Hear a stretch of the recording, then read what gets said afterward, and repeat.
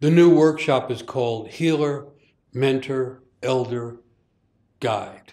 And someone might say, wait a minute, are you going to cover all of those thoroughly? And the answer lies in the subtitle, which is drawing on or drawing upon archetypal resources. And so the way it goes is the outside world is full of great crises the climate crises, the COVID crises, the crisis of truth and meaning, uh, the crisis of disparity. We're in critical times on all kinds of levels.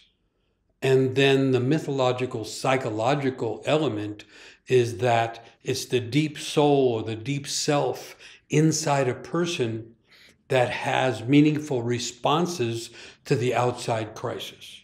On one level, we're each just a small, fragile person in a great dark universe.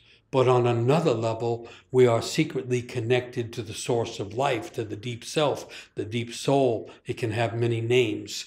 And in times of crises, the deep self, the deep soul, responds with archetypal energies that appear as the healer, the mentor, the elder, the guide.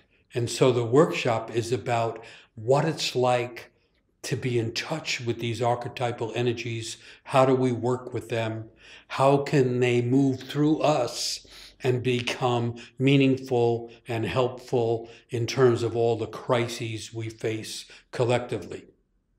So I'm suggesting that we're not facing this alone, even if we feel isolated, but rather in the human inheritance in the depth of our souls, there are these purposeful, archetypal energies that are trying to rise through us in order to help heal and guide us through what is going to be an extended period of difficulty and trouble in the world.